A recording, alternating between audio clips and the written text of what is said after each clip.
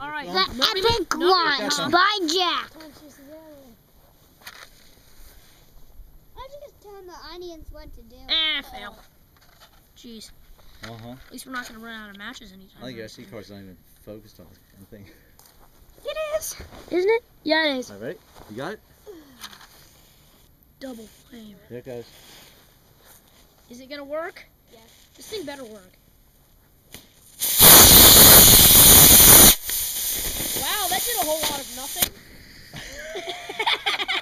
Uh, Woo! Yes. All right. Wow, that was sucky and awful.